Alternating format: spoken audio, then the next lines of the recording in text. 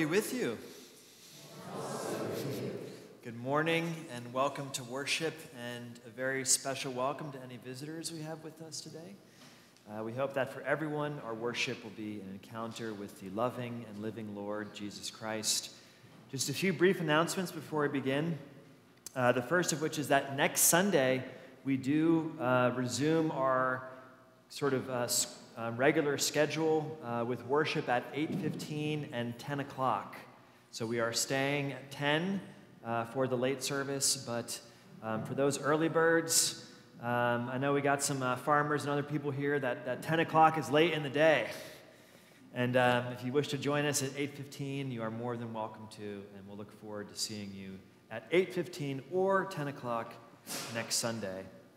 And also, you might have noticed up here, um, we are collecting a special offering today uh, for Hurricane Ida relief, and uh, this will go to Lutheran Disaster Response. So uh, later I will invite you, or after the service, if you wish to um, make a cash offering, or you can write a check uh, payable to Good Shepherd and just put hurricane relief in the memo line.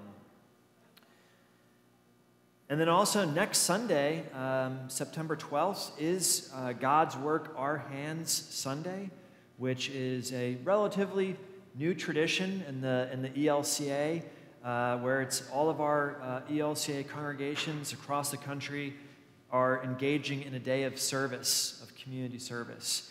And so, of course, here in the Perry Conference, we are delighted to welcome our sister congregations as we assemble 500 Lutheran World Relief hygiene kits. So essentially, these are kits with like a towel, a comb, a couple bars of soap, toothbrush, and that you wrap up the towel and then they go around the world to people that are in need.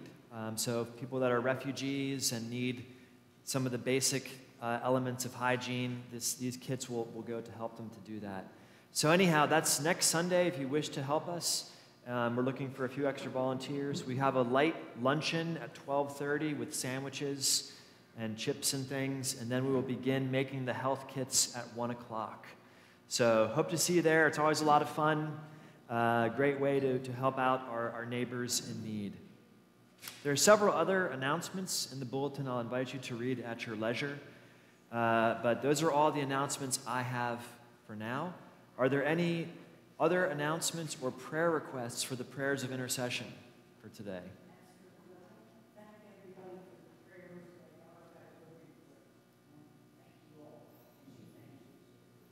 Okay. Thank you, Vi. Kelly? Sure. Would you like me to announce it or? Okay, sorry. um, just it's easier for everyone to hear, but so. Uh, next, not this, not, yeah, a week from today. No, two weeks from today. Yes, thank you. Okay. Two weeks from today, September 19th, uh, is the memorial service and celebration of life uh, for Kelly's late mother. Um, I know she was dear to all of us, Phyllis Ernest. Um, remind me again, I, I have it on my calendar, but it's Yes, 1, 1 to 2 is the visitation, and the service is at 2, followed by a time of a luncheon or fellowship meal afterwards. So we'll, we'll, we'll get that in the bulletin for next week. But uh, please do uh, come and be with us and Kelly and Holly and the family as we thank God for Phyllis's life and celebrate her. So thank you, Kelly. Any other announcements or prayer requests? Of course, we can always pray later on as the Spirit moves us. But seeing no further, I would invite you, if you are able, to, to please rise for the brief, brief order for confession and forgiveness that is found in the bulletin.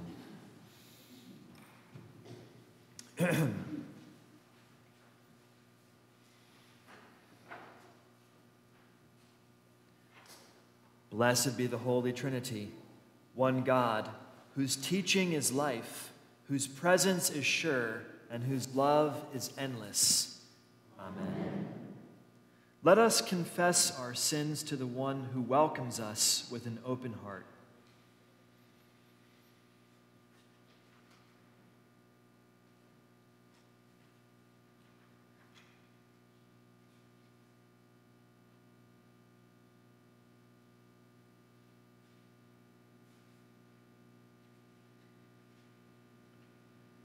God our Comforter. Like lost sheep, we have gone astray. We gaze upon abundance and see scarcity. We turn our faces away from injustice and oppression. We exploit the earth with our apathy and greed. Free us from our sin, gracious God. Listen when we call out to you for help.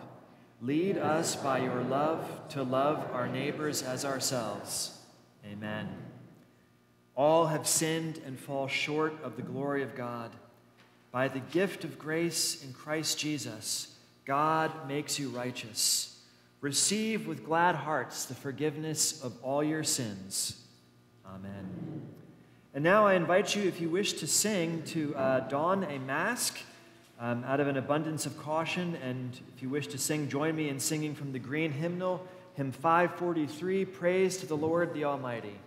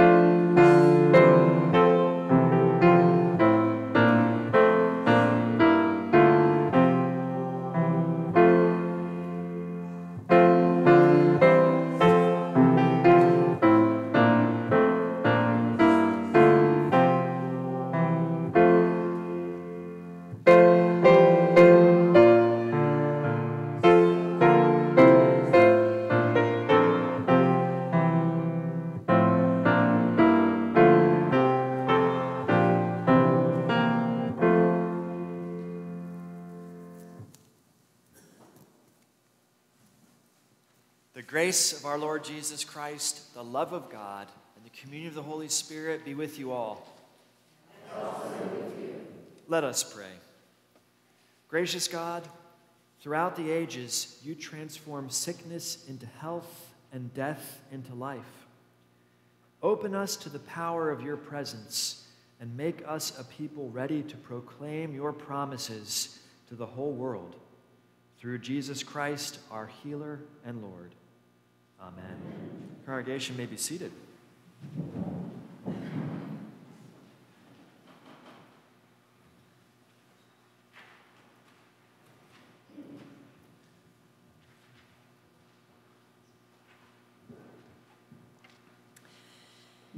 The first lesson is a reading from the 35th chapter of Isaiah. Say to those who are of a fearful heart, Be strong, do not fear. Here is your God. He will come with vengeance, with terrible recompense. He will come and save you. Then the eyes of the blind shall be opened, and the ears of the deaf unstopped. Then the lame shall leap like a deer and the tongue of the speechless sing for joy. For waters shall break forth in the wilderness, and streams in the desert. And the burning sand shall become a pool, and the thirsty ground springs of water. Here ends the first lesson. Psalm 146, printed in your bulletin, will be read responsively. Hallelujah! Praise the Lord, O my soul. I will praise the Lord as long as I live.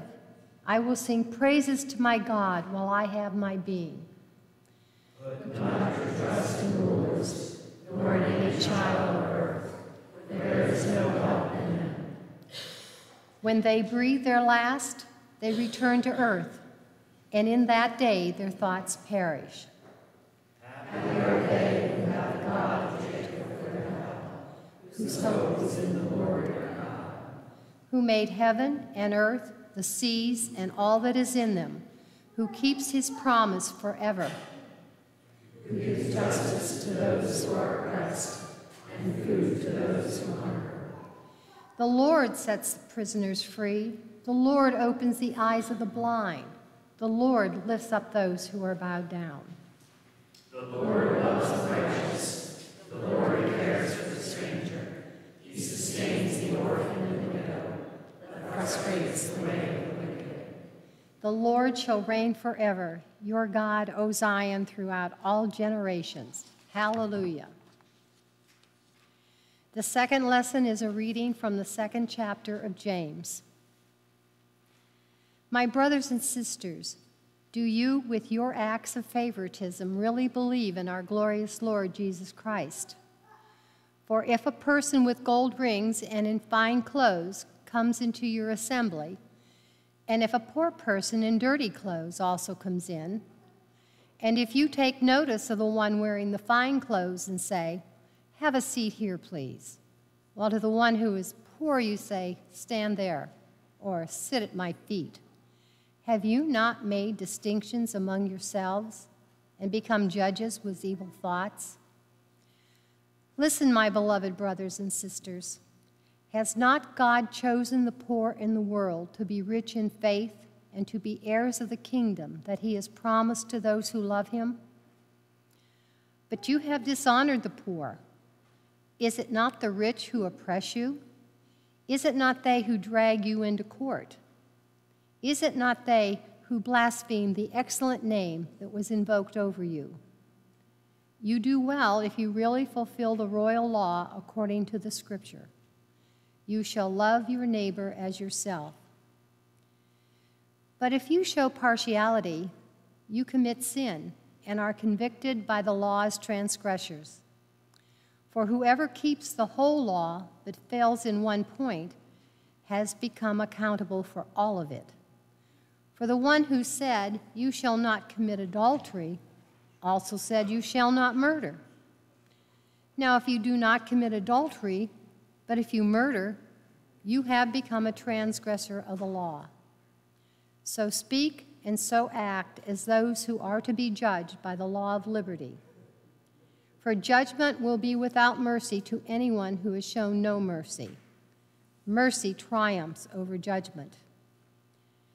What good is it, my brothers and sisters, if you say you have faith but do not have works? Can faith save you? If a brother or sister is naked and lacks daily food, and one of you says to them, Go in peace, keep warm, and eat your fill, and yet you do not supply their bodily needs, what is the good of that? So faith by itself, if it has no works, is dead. Here ends the second lesson.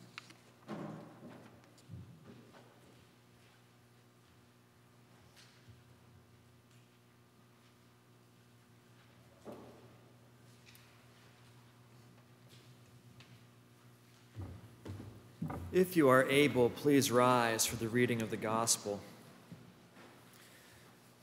The Holy Gospel according to St. Mark, the seventh chapter. Jesus set out and went away to the region of Tyre. He entered a house and did not want anyone to know he was there, yet he could not escape notice. But a woman whose little daughter had an unclean spirit immediately heard about him, and she came and bowed down at his feet. Now, the woman was a Gentile of Syrophoenician origin. She begged him to cast the demon out of her daughter.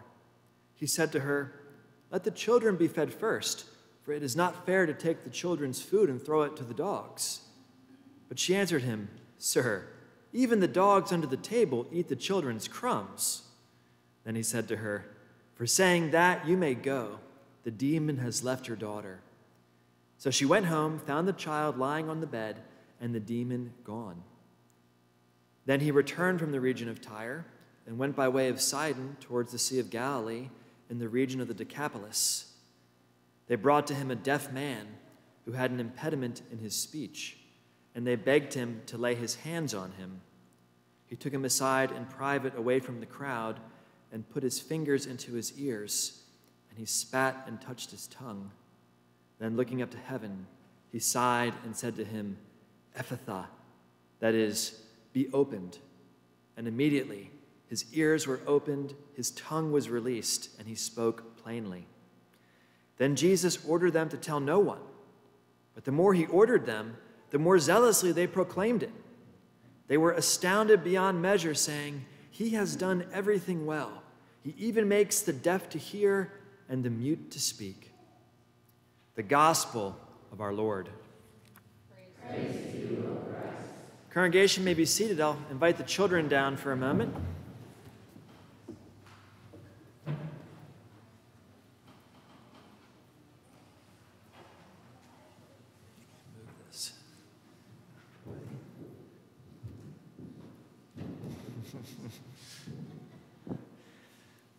Well, good morning, boys and girls. How are you today?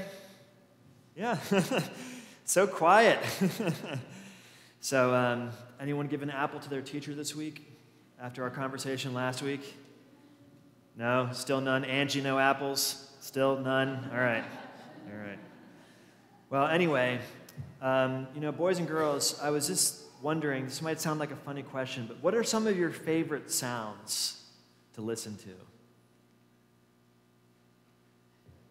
Do you, do you have any sounds that you like? Music, video games. you mostly like to play video games. What about the sound of like rain on your roof? Do you like that sound? I like to lie in bed and hear that sound. Any, any favorite sounds you like? None? All right, I guess not. Wow, okay. Well, I was hoping you would say something because what I was going to ask you to do is to imagine what it would be like if you couldn't hear any of those sounds which you enjoy so much. But you know, for a lot of people, that's, that's the way things are. That for people who are deaf, they can't hear, or maybe they can't hear very well. Whoops, Nathan, you want to sit up, buddy? So, all these things that we enjoy listening to, our neighbors and friends who are, are deaf wouldn't be able to enjoy that. You know, so how do you think people that can't hear communicate? Any ideas? Sign language. Yeah, definitely. That's one of the main ways. Do any of you know any sign? Uh, Carly's doing a little sign language. Hi. Thank you for listening and answering my question. Do any of you know any other sign language? You want to sit up? Well, I'm going to teach you a couple things real quick so we can think about that for a minute. But the first thing I'm going to teach you is what are you supposed to say if you want someone to do something for you?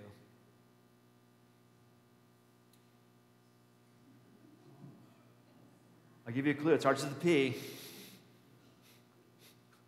Please, all right. Boy, some of these kids uh, don't learn, no, don't know these things, huh? So the way that you say please in sign language, do you like this first? Put your hand up like this. Nathan, can you sit up, buddy? All right. And then you put your hand on your chest, and it's like a circular motion, like this. That's how you say please in sign language, right? Just like that, very simple. Okay? And then what do you do? What do you say if someone does something for you? Something nice. Ashley? Yeah, thank you. So in sign language, thank you is like this. You put your hand on your chin and then, do, so just let me see you do like this. Put your hand on your chin and then thank you. That's how you say thank you. And if you want to say thank you very much, you use both hands. Thank you very much. Right? And then to say you're welcome, you do your hand like this and you just put it on your chest right here. Just like this. Well, anyway, the reason I'm telling you all this is that in this morning's story, Jesus was helping a man that was deaf who couldn't hear and also had trouble speaking. And I think part of our job as Christians is to make sure that we try to. Nathan, can you sit over here, buddy?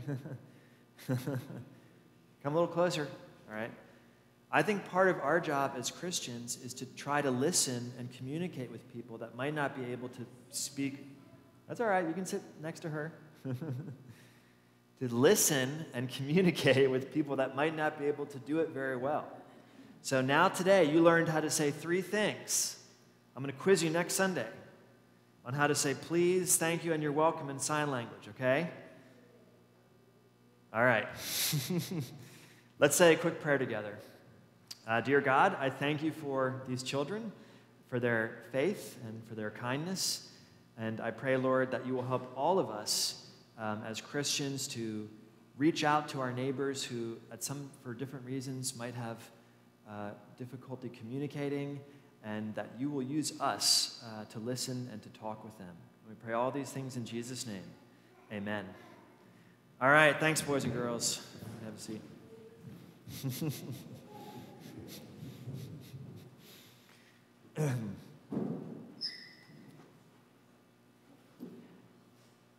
I once heard a story uh, about an older man that he was living with his family and he had basically gone completely deaf. He had lost pretty much all of his hearing.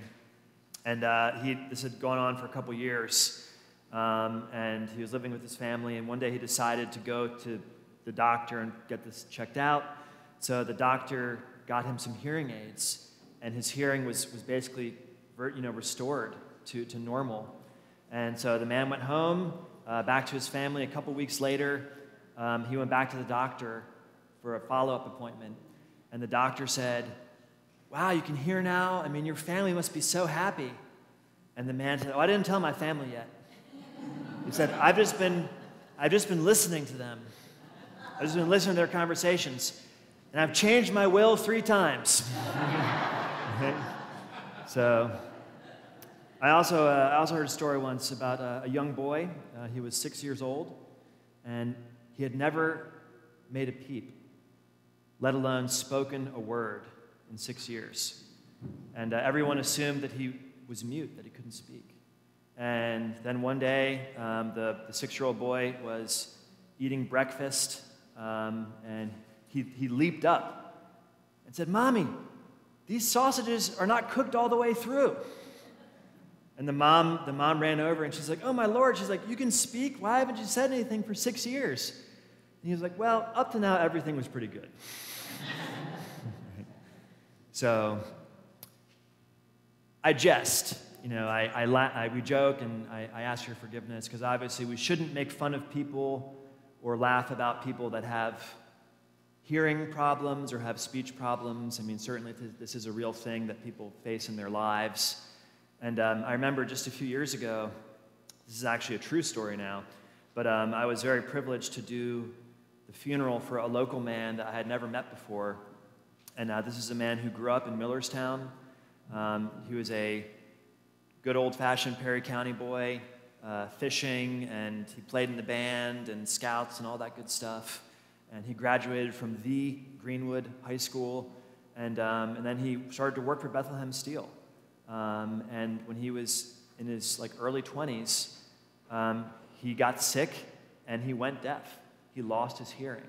Um, this man's name was Larry Stroup, and uh, his funeral was in February of 2020. It was actually on his funeral was on Shrove Tuesday, the day before Ash Wednesday, and then it was like a month later was the, the shutdown for everything.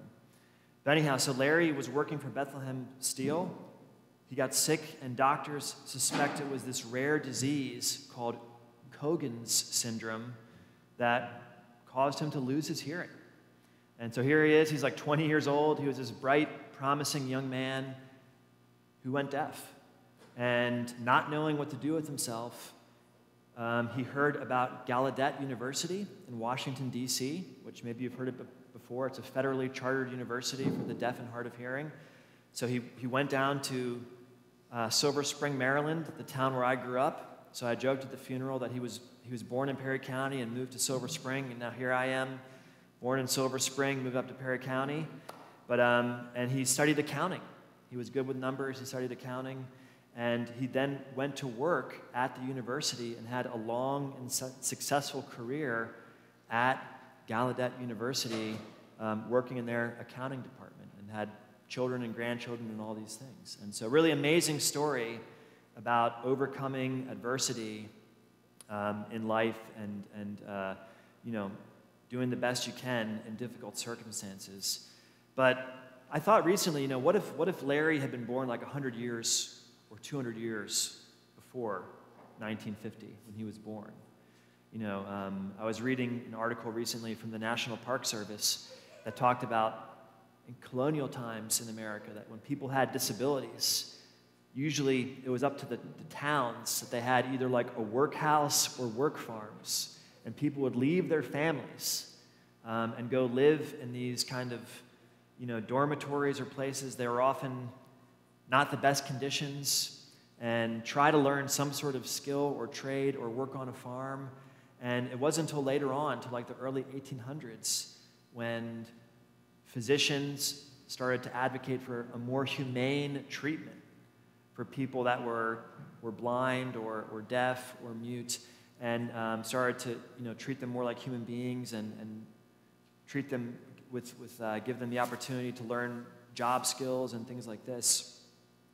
And so, the reason I mention all this is that, you know, thinking about this story today, um, we, have, we have two people in this story uh, that Jesus heals. Or, you know, one is the daughter of the Syroph- Syrophoenician woman, and the second is this man um, who is deaf and mute. Um, and we think about how people with disabilities were treated in this country up until relatively recently, not that, not that well, which was the case all around the world. But in Jesus' day, it was, was even more so. You know, I mean, if someone was, was, was mute or, or deaf or hard of hearing, people thought the person was, you know, demon possessed or the parents had done some terrible thing and were being punished by the gods and things like this. And so in this story, Jesus is really, by healing these people, by touching them, um, by, by having a conversation with them and listening to them. Jesus is breaking all kinds of the social taboos that existed in his day. You know, last week we had this story where the disciples of Jesus were criticized for not washing their hands properly. And Jesus, you know, said, it's not, it's not what goes into you that makes you unclean, it's what comes out. And uh, thus he, he declared all foods to be clean, right? And in this morning's story, I think Jesus is declaring all people, all kinds of people, to be clean and good. Um, you know, your worth as a person is not determined by whether or not you have a disability, or whether or not you're a man or woman, or whether or not you're of one ethnicity or another. Um, the Syrophoenician woman, you know, when Jesus first began his ministry, he said that he was sent only to the lost sheep of the house of Israel. But yet, for whatever reason, he chose to go out of Galilee and go to this place, Tyre, uh, this, this, this foreign land that's full of Gentiles. He wants no one to know he's there. Um, it tells us he was hiding sort of in this house. But this woman who's desperate because her young daughter is sick comes to him to seek healing. You know, she believes that he is a man of God who is able to cure her daughter of this, of this illness.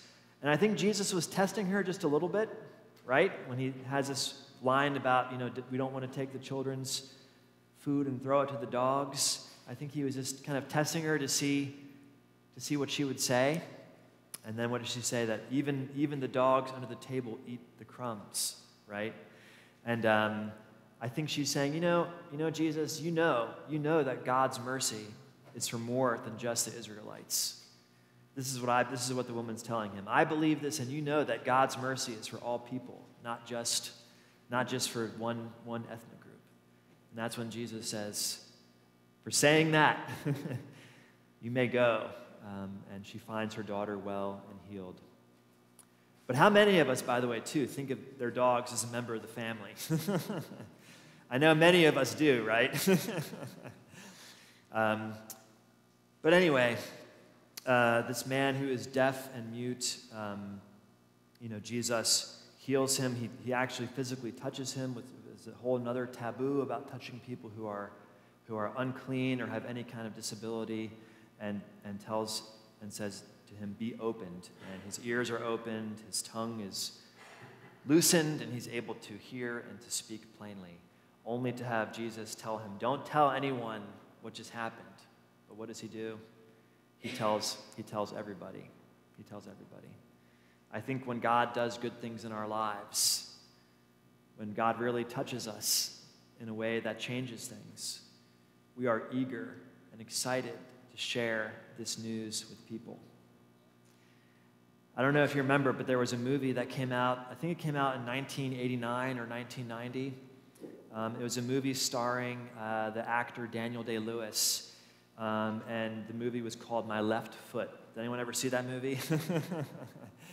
so it's a great movie if you haven't seen it. I highly recommend it. But uh, it's based on a true story where Daniel Day Lewis plays um, a man named Christy Brown. And Christy Brown was an Irish man. He was born in 1930 in Dublin, and he was born with cerebral palsy. He had like 13 siblings. It was a poor family, as you can imagine, and this man, Christy Brown, had severe cerebral palsy, so that the only part of his body he could really control was his left leg, right? And over the years, a social worker was visiting him at his home, and she would bring these books, and she noticed that he had a love of art and a love of poetry. And so before long, he got the idea that he could start drawing and painting with his left foot. And as it turned out, he was actually quite a talented artist. And he made some really beautiful paintings, and he wrote poetry, and um, had a phenomenal life. You know, but had he lived in a different time, and actually even, even during that, even, even in the 1930s when he was a child, people were telling them, no, you should send your son off to one of those, like, you know, one of those places for people that are disabled, and he'll never amount to much, you know. Um, should probably just kind of give up on him. But the family really believed that they could not only could they raise him, but that he was a beloved child of God that could do that could do amazing things. And so that was that was the name of one of his. Uh, he wrote an autobiography called My Left Foot about about his life. And so um, I'll leave it here with this.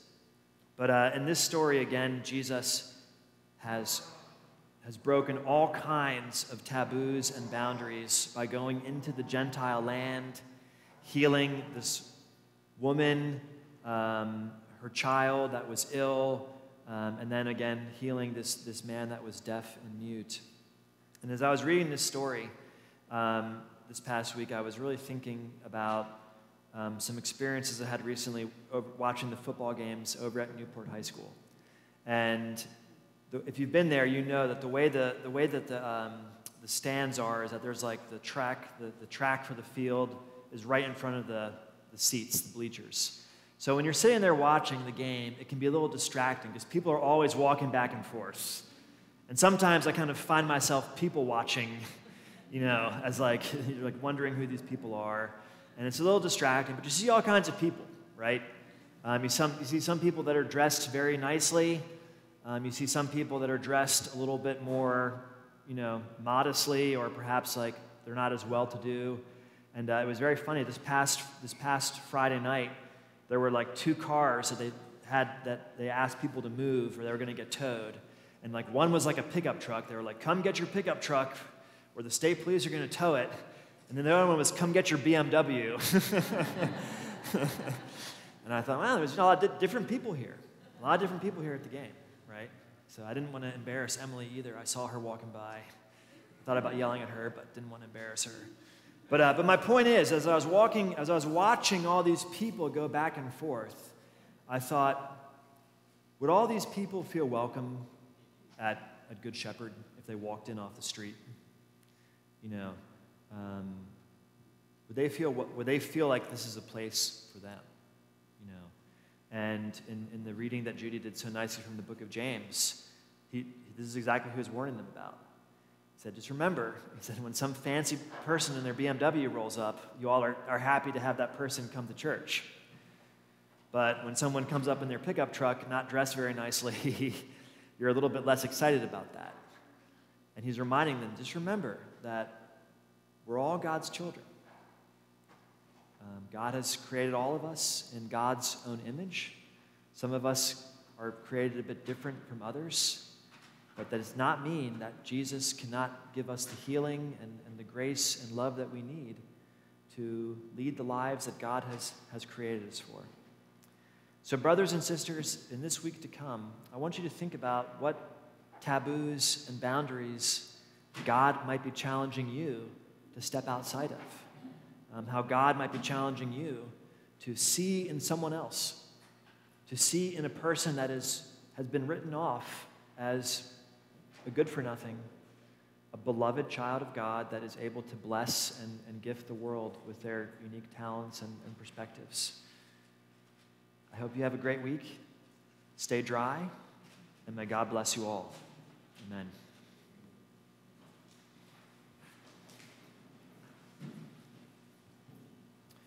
And now we will sing together a hymn. I'll invite you, if you wish to sing, to wear your mask and, and rise and join me in singing from the blue hymnal, hymn 738, Healer of Our Every Ill.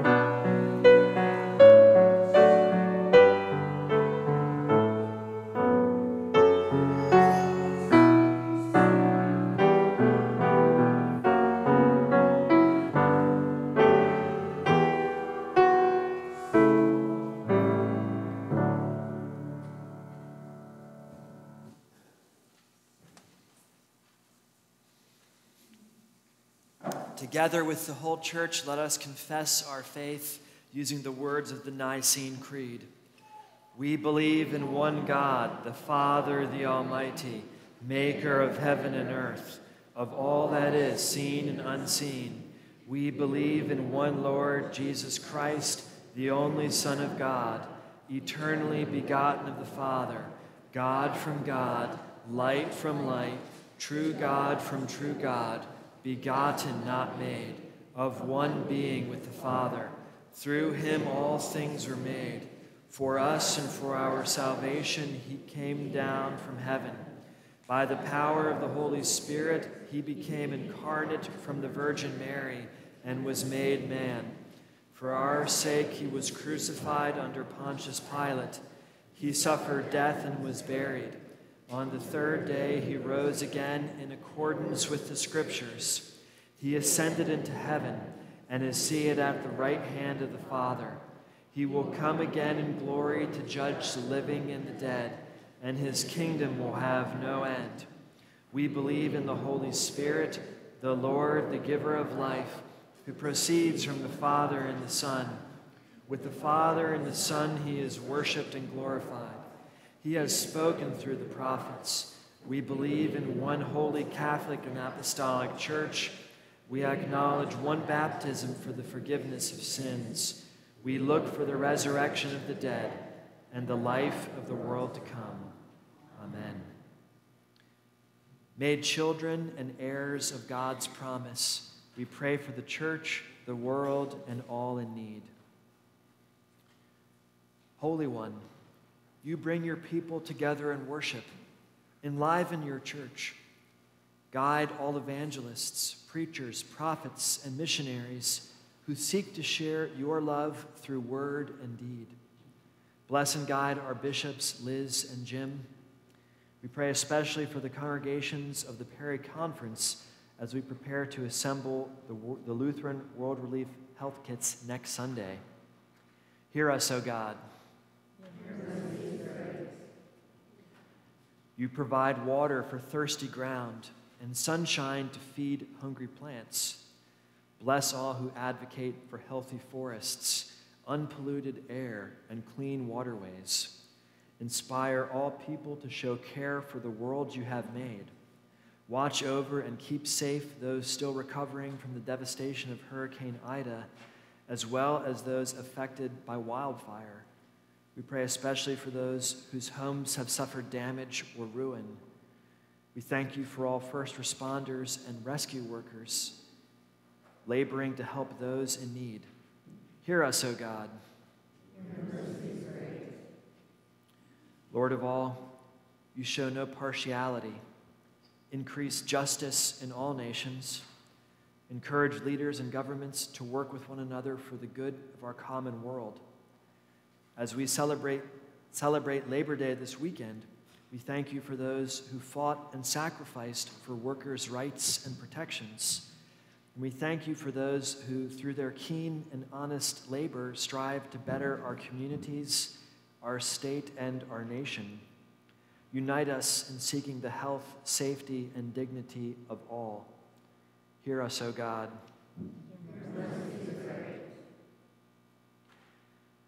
Your healing touch gives restoration, fullness of life, and new possibilities.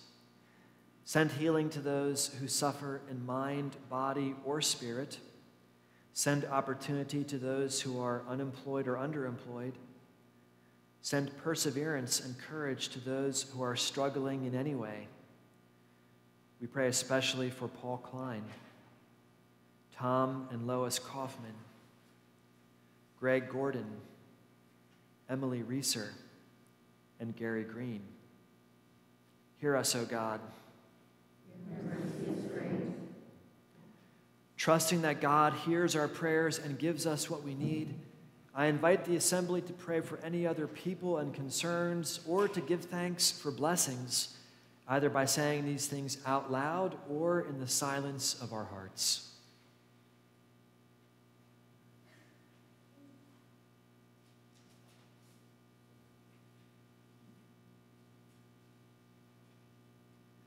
Hear us, O God. You embrace all who have died in, in the faith and brought them into your glorious presence. We thank you for their example and rejoice in their lives. Give solace and peace to those who mourn. Lift up those who are bowed down and sustain them with your promise. We pray especially for the family of Dela Gomez and the family of Robbie Fitch. Hear us, O God. Receive these prayers, O God, and those in our hearts known only to you, through Jesus Christ our Lord. Amen. The peace of the Lord be with you always. And at this time, if you wish, I will invite you again if you uh, would like to make a donation for Hurricane Ida relief. Uh, this would be an appropriate time to do so Of course, you may also do so after the service. And I'll invite you to come down if you'd like to make a donation.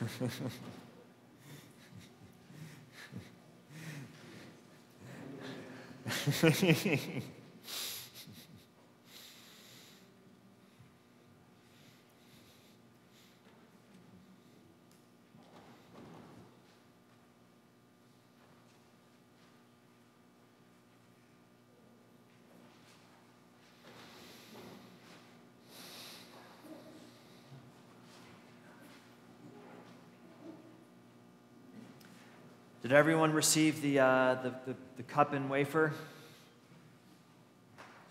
Just to make sure.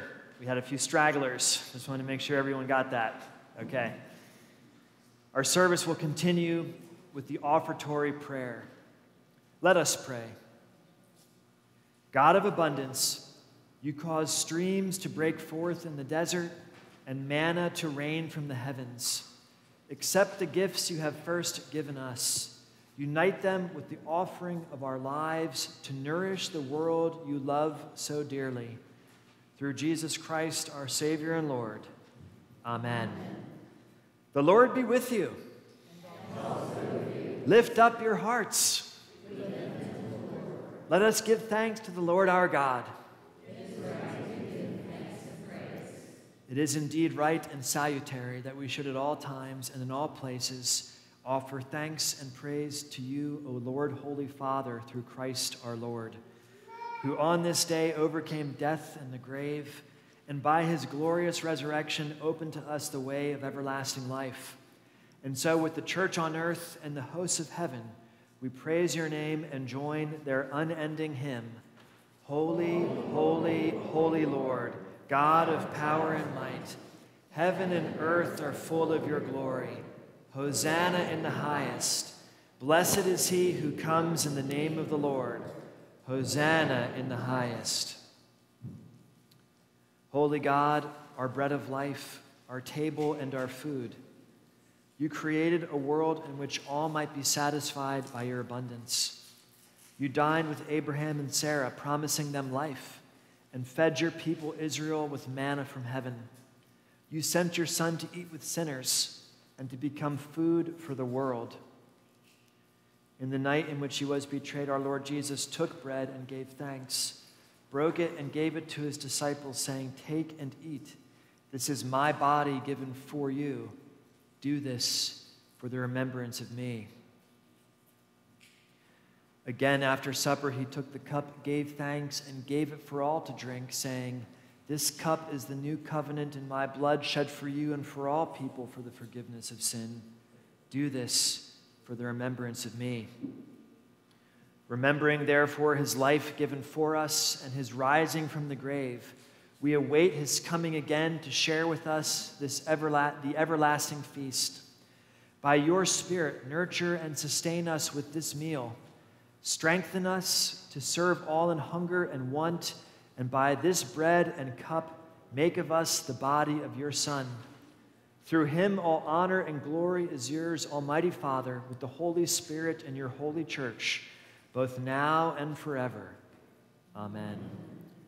And now let us pray together as Christ has taught us Our Father, who art in heaven, hallowed be thy name. Thy kingdom come, thy will be done, on earth as it is in heaven. Give us this day our daily bread, and forgive us our trespasses, as we forgive those who trespass against us. And lead us not into temptation, but deliver us from evil. For thine is the kingdom, and the power, and the glory, forever and ever. Amen. At this time, I invite you to receive the bread and wine.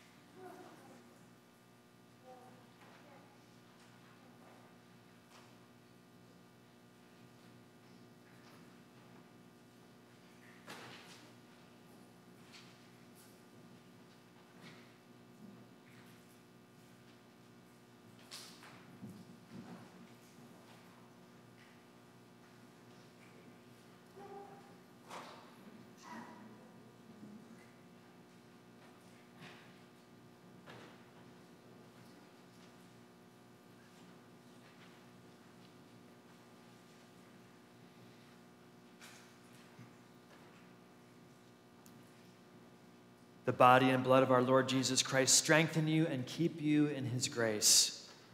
Amen. Let us pray. Lord of life, in the gift of your body and blood, you turn the crumbs of our faith into a feast of salvation. Send us forth into the world with shouts of joy, bearing witness to the abundance of your love in Jesus Christ, our Savior and Lord. Amen. People of God, you are Christ's body, bringing new life to a suffering world. The Holy Trinity, one God, bless you now and forever. Amen.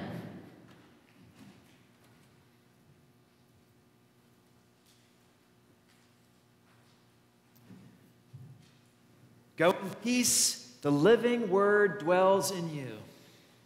Thanks be to God.